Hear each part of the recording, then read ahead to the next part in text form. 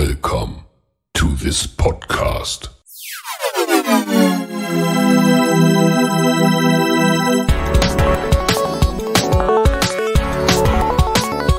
Water Polo Expert Talk.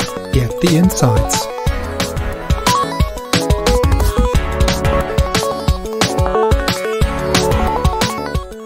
Hello and welcome to the next episode of the Water Polo Expert Talk podcast. Today I welcome Theodoros Vlachos and Theodoros is the head coach of Olympiacos Piraeus and at the same time the national coach of the Greek national team. He will give us some insights about his work uh, with the club and with the national team and now let's get started with the first part of the latest episode. Welcome to the podcast. So it's uh, again uh, time for an uh, international uh, episode of the podcast. Today I'm very happy to, to welcome Theodoros Vlachos. So um, Theodoros, uh, welcome to the podcast. Thank you very, very much for your to, invitation. to have you here with us. Absolutely. So it's it's uh, my my pleasure and my honor to have you here in the podcast. Maybe at the at the beginning, so just st let's uh, get started with a short introduction, maybe of yourself. So maybe that you could, uh, yeah, introduce yourself to the listeners. Yes, of course. Um, I am uh, Vlachos, the coach of men national team of Greece and uh, the coach of Olympiacos Piraeus. I'm 52 years old and uh, I'm born in a beautiful town away, three, 300 kilometers away from Athens, uh, called uh, Volos. And uh, I stayed there till 18 years old. And then uh, I moved to Athens to, to study physical education and uh, to move to another club, to Olympiacos club, to continue my career as a player. So this is mm-hmm. my beginning, how I started. And uh, I, I have more, more, many, many things more to say, but okay, this is the beginning.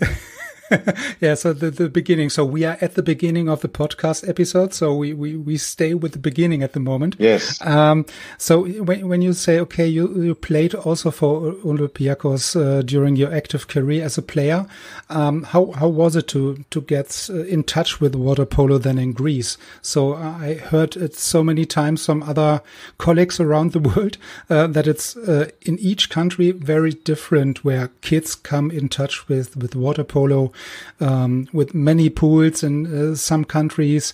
Um, we, so we, we do not have this situation like in, in Greece or in Spain or in Italy here in Germany. So how, how was it for you? Okay, that period really was uh, much different than uh, now ah. because, uh, you know, really, actually, I started uh, water polo at 12 years old. It was uh, really late. I was fun. I was really. I, I like. I liked the, the sports, but a friend of us uh, said uh, gave the opportunity to me to to have a touch to to know to to see to watch a water polo game. So I started, uh, but I worked the first first years really hard to to improve myself and uh, really. I arrived uh, after four or five years to be one of the best uh, young Greek players. so I had the opportunity to to to move to a better club in uh, Athens because you know I was a student of physical education and then uh, uh had the opportunity uh, to play in Olympiacos uh, since I remember since 1989 to um, till 2000. So I was in Olympiacos as a player for 10 years, 11 years. But that period. Um, uh, the kids uh, started really later, not so young, the, um, a sport like water polo. Uh, now it's different. Now the kids, all the parents try to put their sons or daughters really younger in a, in a sport. the life is different and uh, actually in Greece, um, you can start water polo from uh, seven, eight years old. So yeah. it's much different. So, do you have many kids come to to play water polo? Or maybe maybe more as in Germany for sure. But um, is it really a, a, huge number of kids starting or coming to the clubs um, no. playing water polo? No, no we don't okay. have many many kids because um, really we have some uh, problems. The, our problem is that we don't have facilities enough mm-hmm. facilities, enough pools to to to have many many kids. Uh, this is a real problem for for Greece. Uh, uh, as you know, probably you know, the last ten years Greece was in a really hard crisis, economic crisis, and you know everything stopped. we didn't mm-hmm. have something new. We didn't have new facilities for sports, not over, not even for uh, water polo. And uh, but uh, any any any any pool we have available, uh, uh it's full for for with kids. But uh, I think it's not a really big number. All the kids. Yeah.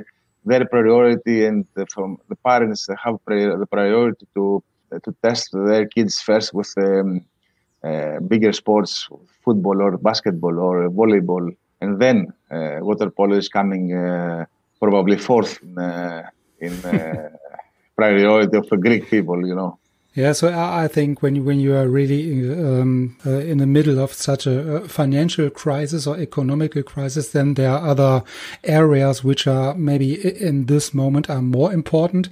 And when you say, okay, most of the kids or more of the kids um, starting maybe with basketball or volleyball or whatever. So these facilities are, are there. Yeah. So it's, it's maybe also easier to, to find a facility to play, uh, volleyball yes, instead of, of find a, a, pool to, to play water polo. So in this case, uh, when you do not have any money, you are not able to, to build also new pools. Yeah. The most, um, the, the bigger number of uh, uh, the pools in uh, Greece are uh, outdoor. So you know there are mm-hmm three four months during the winter that uh, really is very cold for small kids for young kids to to go every day for practice uh, but okay the rest of uh, the season is uh, really really uh, Uh, very good weather but uh, you know these three four months uh, yeah. is difficult for everybody for the parents for the kids for uh, these are problems yeah. that are not is not something new for us last 15 years, Greece uh, has really these problems with the facilities and the stadiums and the pools and everything.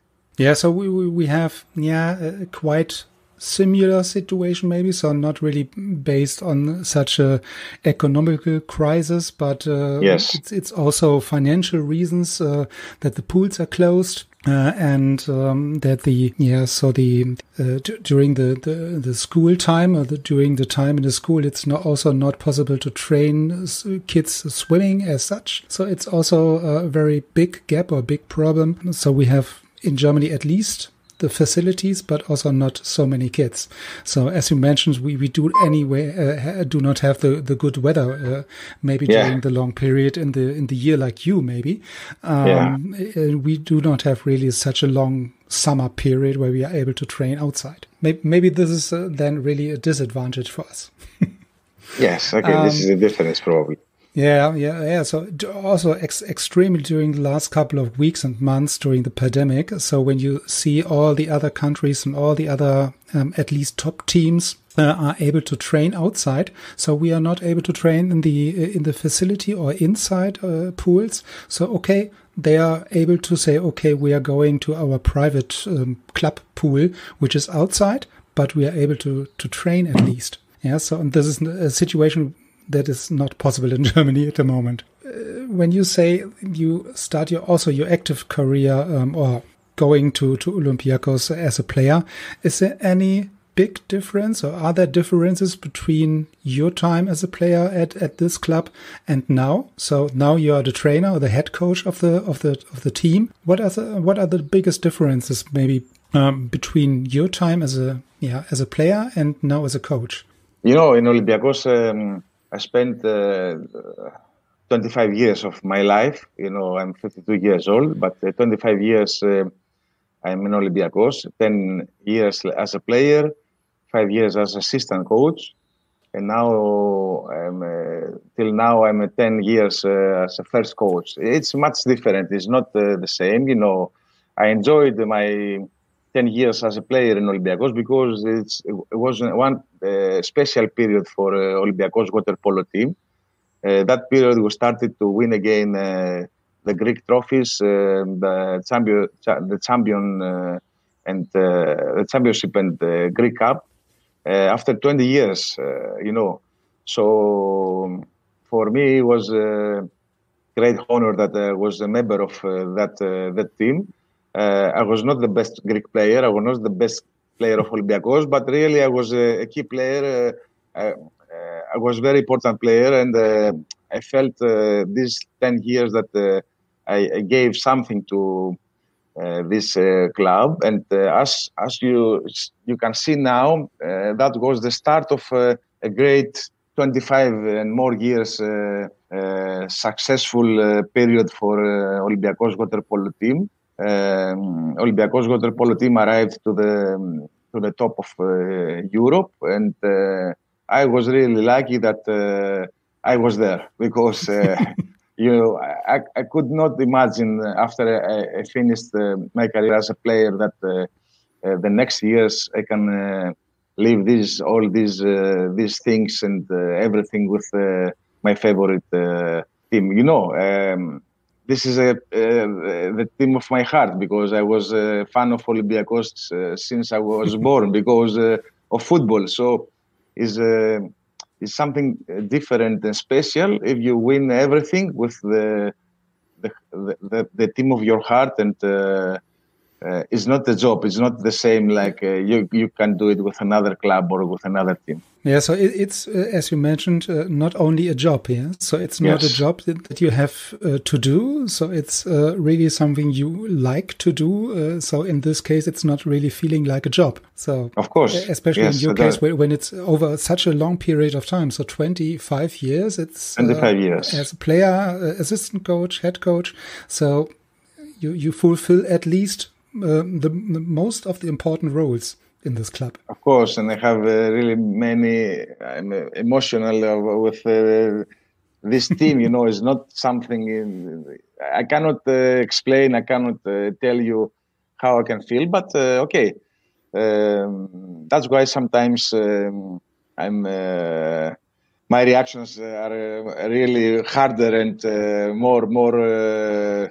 how can I tell you? Because I have emotions for the team. It's not it's not a job, as I tell you before. I, am sorry yeah. about. I cannot explain you exactly, but uh, this is uh, yeah. So I, yeah, so I, I totally understand that. Um, but your reaction and emotions are really different uh, when you do only a job or when you do it uh, from from from from your heart. Yeah. So when, when you love uh, the people, when you love the club, when you love the sport, uh, so the reaction uh, is totally different in this cases?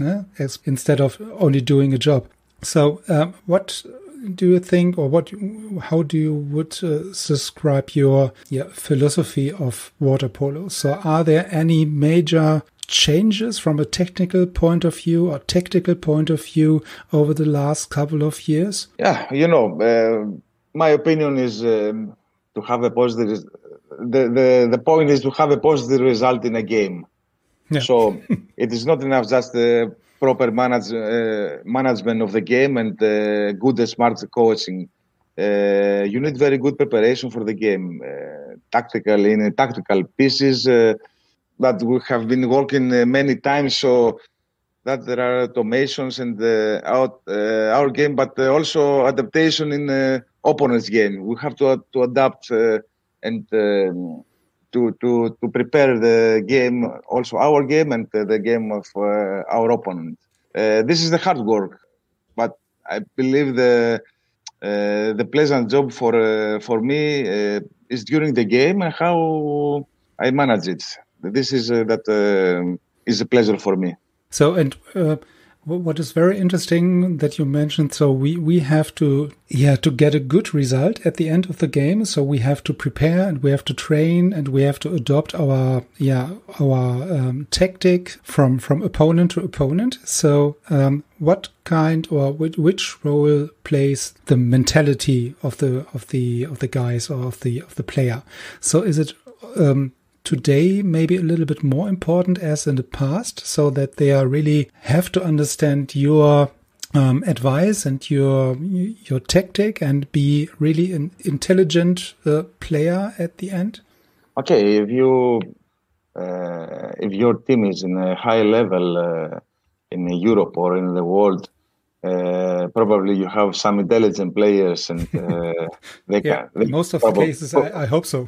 probably you have, and uh, I have in my team really intelligent players. Uh, this is uh, this is a fact, and they can follow my advices. They can follow my ideas. They can follow everything easily, easier than some other players. So this is an advantage. Um, but I think to have a good result, you need to work first of all hard. Mm-hmm. your body must be ready. Your mind must be ready and then to to have uh, to work in uh, uh, many details that you can you you will you have to to you have some situation in the game, so you have to to work about this situation before. You you cannot uh, do it just uh, two last two three days. So during all the season, uh, you have some pieces in defense, in attack, and in any part of the game that you have to repeat again and again and again. And uh, the players have to understand how are you thinking, how you want them to react, and uh, all these things you have to repeat again and again. And um, I believe that uh, uh you have to prepare all these pieces before any comp- big competition or a big game. Uh, yeah. But at the end, uh, you have you need your players to to react with their quality uh, better and uh, much better than uh, the opponent. yeah. But you, the job must must do it before the big yeah. the big the big job. Yeah, yeah. So the the big job or the hardest job is really during the during the training to get prepared for the for the match. Yeah. So as you said, uh, in in the match you have to be able to um, yeah to to switch uh, or to to yes. to see the situations and adopt to change something at the things from the training. Yes, game, of course. And any decision in the game in a critical moment or in a timeout, uh, you cannot do it just like this uh, during the game. Also, this you have must be prepared from uh, uh, before the days before. So anything must be prepared. And uh, now you, you are maybe uh, yeah in a difficult situation. Maybe not for you personally, but you are not only the head coach of Olympiacos, uh, but you're also the head coach of the uh, Greece national team. So is it really sometimes hard to differentiate between these two roles, or is it maybe only uh, difficult for the people around you and not for yourself? So, are there any, also, how do you manage these two roles then?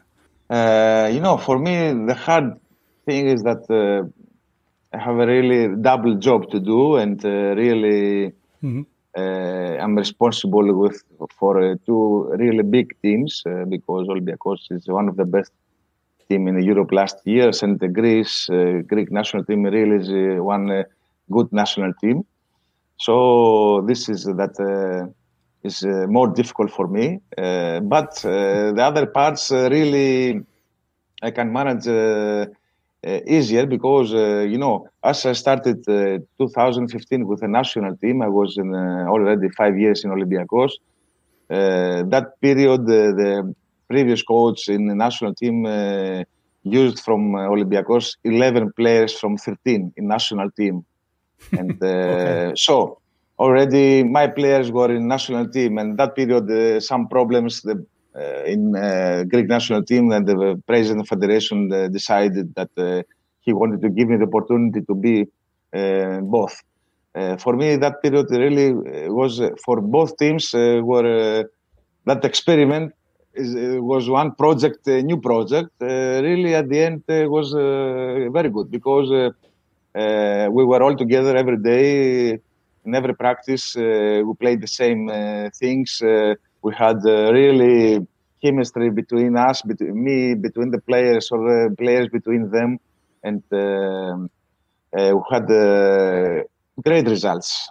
Really, first two three years, uh, uh, both teams uh, were in a very good uh, shape and had great results. And I think till now, if um, I can see back five, six years, both teams are successful teams and I can say that uh, that project really was very good. Uh, maybe made me uh, more tired because I didn't have any any free day all season, not in the summer or uh, in a period, but uh, gives me really the opportunity to be a coach uh, the same time in uh, two big uh, teams and uh, two big teams of my heart because also Greek team is uh, the team of my heart, you know.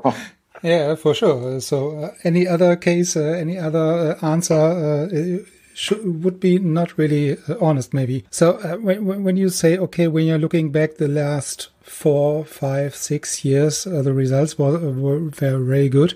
Um, so you won also the, the Champions League. So what is, what is, uh, so maybe you can tell us a little bit more about such a great success. Yeah. So when you win such a big title in Europe. So, uh, at, anyway, so as a player or as a trainer, uh, as a coach, maybe you can give us a little bit more insight about your, your reaction or your feelings when you have such a big win.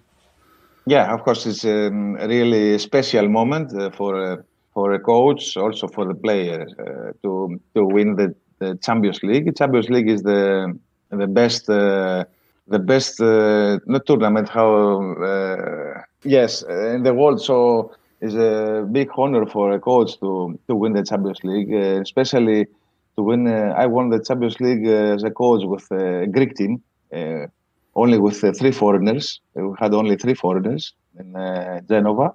We won uh, the Champions League in the home of our opponent, and our opponent was the biggest club in Europe last 15 years, Recco. We had really the um, the smaller budget uh, from maybe probably from all other clubs, from all other seven clubs. Uh, this is uh, for sure. but we had a team with very good, uh, the best Greek players, and three really uh, Croatian foreigners. Uh, but they played like they felt like at home, their home. you know, the the feelings are um, are great when you won when you win this this trophy. Uh, you feel uh, that uh, you did the best with your club because it's the best moment for for a club to win this trophy. Um, I felt again uh, how it is uh, 2002 when I was assistant uh, of Olympiacos in Budapest. Uh, we won again the first time the Champions League. The coach was uh, Zoltan Kasas. Really, I was not happy, really more than happy that period. but now I'm real. I lived now. Now I lived in two years ago in in Genova much different because uh, uh, that was my job. That was uh, everything. All the team, the players were um, were my choices, and I was the who who control everything. You know, it's a great moment. Um, I cannot tell you more things. It was not only one season. Uh, two years ago, we played again uh, against uh, the final of Champions League in Budapest. And uh, the next season uh, of, uh, that, that, we won, after we won, we played again in the final of of the Champions League. So um, that was a period for four years that Olympiacos was on the top of Europe, uh, and uh, I believe that uh, not I believe I'm very happy that I was a big part of this success of this club of Olympiacos club. And uh, the, the, tournament here, or the final eight, which uh, took place in Hanover, uh, so it was really a big, big event here in in Hanover. To be honest, yeah. So it's great to see all these um, great games, uh, yeah, in front of your door. So it's really great to, yeah. to watch. And for four or five days of water polo each day I guess this was the one where you lose the final in uh, after penalty shootout, right? Yeah. So is is this so? What what about these feelings during these kind of games? Yeah, I will uh, start from uh, the end. Uh, we felt at the end that uh, really uh, we still were at the top because um, if you lose the final of in Champions League in a shootout penalty, okay, you need sometimes to be lucky or unlucky mm-hmm. to to have this result. But uh, for um, our club, the second season to to play again to the final and uh, to lose in this way, uh, here really I was proud and everybody were proud about uh, our performance and uh, especially after the, this great uh, semi-final against Recco that would be the stronger record than uh, last year, last season. and uh, we we played again in the final. Uh, I think that in that game uh, we gave everything, almost everything of our bodies or of our heart, and the next day, that's why next day we started the final not so hard, not so strong, and during all the game I was we were following the and score uh, Ferencvaros. So, but at the end, as I tell you before, as I told you before, we were not uh, sad about the, mm-hmm. the, the result, just because um, the history. After many years, uh, everybody will remember that Ferencvaros was the winner, not the second one. So uh, we wanted, you know, we wanted to to to to do the the back to back, as we say in uh, basketball. Uh, you know, to, two years in a row the trophy of Champions League. But okay, uh, I think at the end uh, we felt again uh, that we are still in the top of Europe. Yeah, yeah. So, and when when you also have uh, at the end not really the the feeling that you are disappointed, and yes. that you say, okay, you need sometimes a little bit of luck. So, and maybe this time the other ones uh, have a little bit more luck as you, and you are not disappointed, and you are uh, happy with the uh, with the uh, appearance in the yeah in the finals. So it's a good thing at the end for for everybody. So when we are talking about the Champions League here in Hanover, uh, maybe we can talk a little bit about the performance of of uh, of the local team Waspo. They are not really. Uh, let's say happy uh, with some of the results uh, during this uh, final eight tournament. So how do you see the, their their their their development maybe over the last couple couple of years? So do you follow also other teams here in Germany or other countries?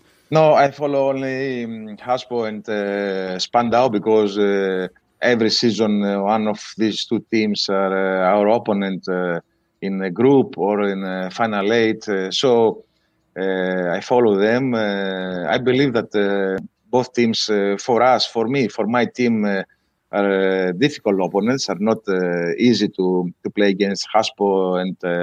Uh, Spandau. As I remember, uh, the the season uh, after we won in um, in Genova.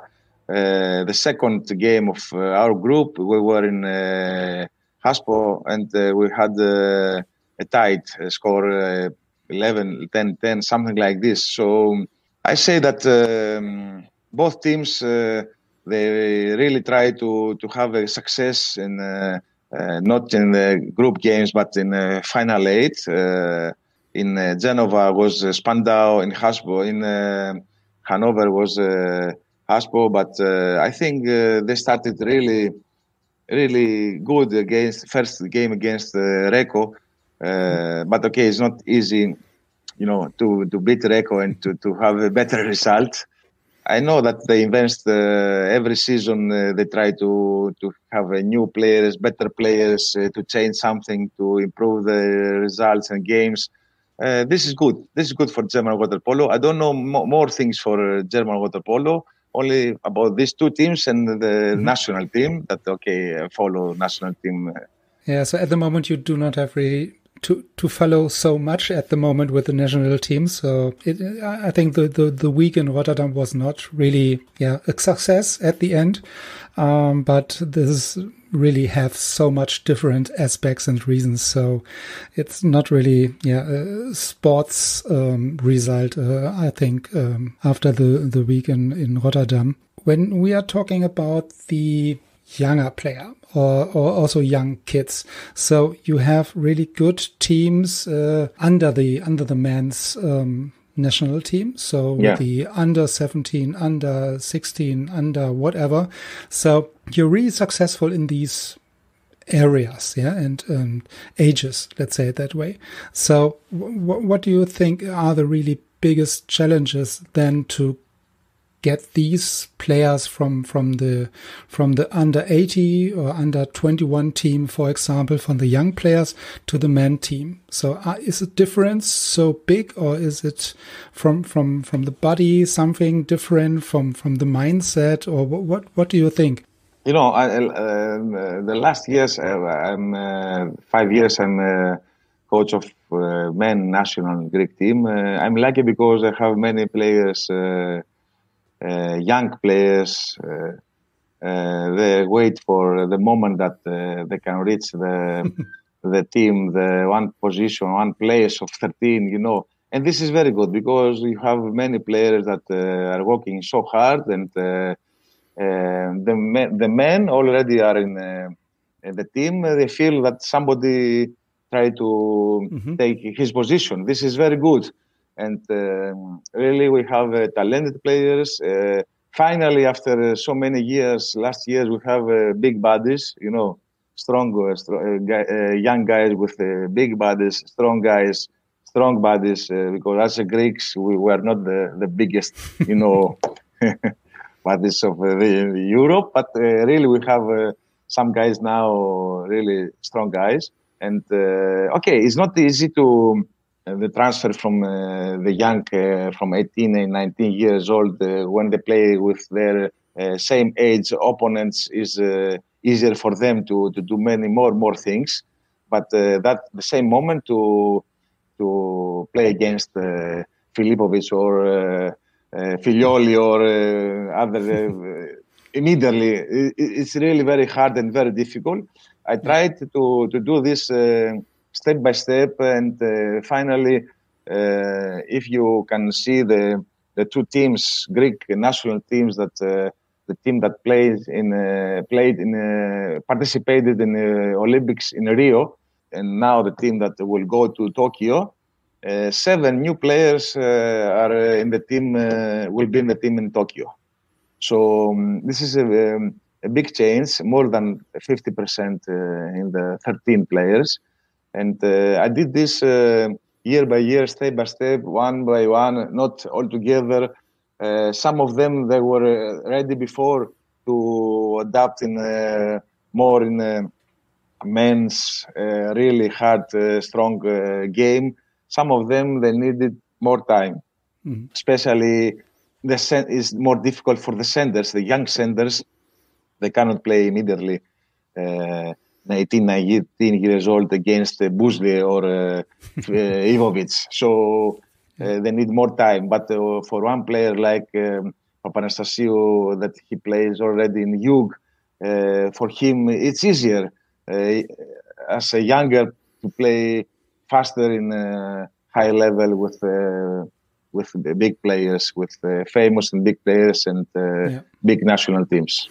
Yeah, yeah. So it's it's uh, quite a difference uh, when you play maybe in your um, in your uh, let's say uh, league or na uh, uh, national league, and then play in the Champions League against these guys, uh, Filipovic, and so course. on. So it's really a big difference than at least when you are really in the age of 18, 19, 20. So when you're really starting your your career, yeah, and growing in your career, um, it, it's really a big difference. Yeah really, I could only imagine that. But um, yeah, quite the same situation we have maybe, uh, yeah, also in Germany, that, so that we try to, yeah, let's say, uh, transfer or move or trans uh, get the national team in a transformation and get more young players and maybe get the pressure from from the from the bottom, yeah, so that the older players are really get the pressure that, as you mentioned, that somebody is uh, looking for their position. And also um, yeah to to have a better basement of young players that are really fulfill these kind of pressure. Do you think, or what what role really the uh, the clubs are playing in this system? Yeah, so um, they have to um, find the kids, um, develop the the, the, the player, um, the um, trainer in the or the coaches in the local clubs have to work with the kids and to, to develop the player. What, what, do you think? Which role plays really the the player, uh, not the player, the coaches for for the kids or in the in the in the young ages of a player?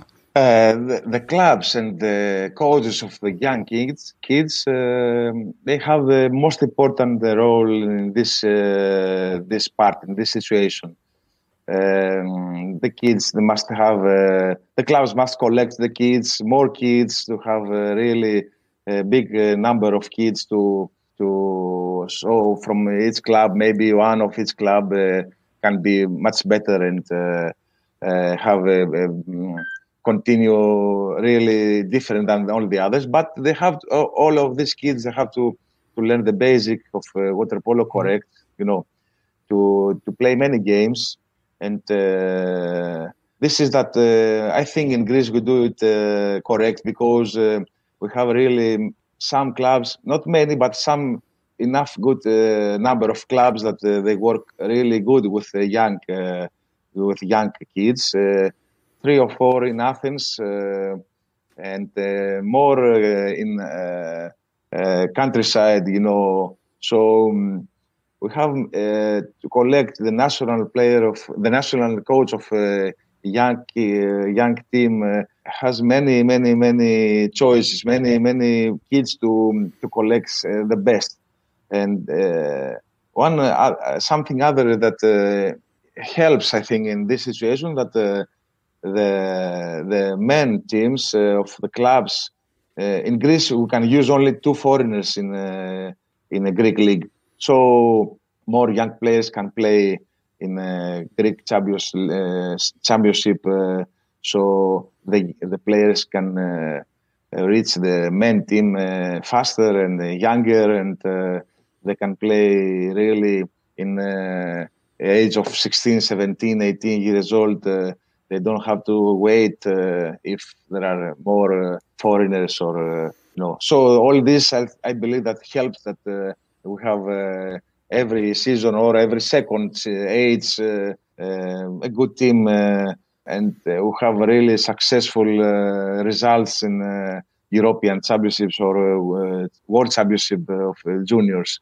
for the moment, the system is really working good enough. Again, with problems, as I said before, without uh, many, many pools and uh, not enough uh, uh space for the kids to have a, a real uh, uh, water polo terrain to practice every day. Maybe some of them are practicing in a half terrain and a half space. And, you know, all these problems probably everywhere you can find this situation. But I believe that as I was uh, you said before, uh, the coach, uh, if you have the result, you are successful. But for the moment, uh, with the kids, we are, as a Greece, we are really successful. So, so we have results. So the system uh, working good, I believe. Thanks, Vlachos, for your very uh, helpful and um, interesting information about your work with the national team and also about your uh, active career as a player. Um, yeah, as mentioned during our conversation in the podcast, I wish you all the best for the Olympic Games for you and your team. Um, and yeah, we hear each other again um, in the next episode of the part two of this podcast. Uh, we hear each other again with uh, Vlachos, and yeah, I hope you enjoy the talk. And uh, uh I'm very happy to uh, um, yeah, welcome you also next week with the second part of the talk with Theodoros Vlachos.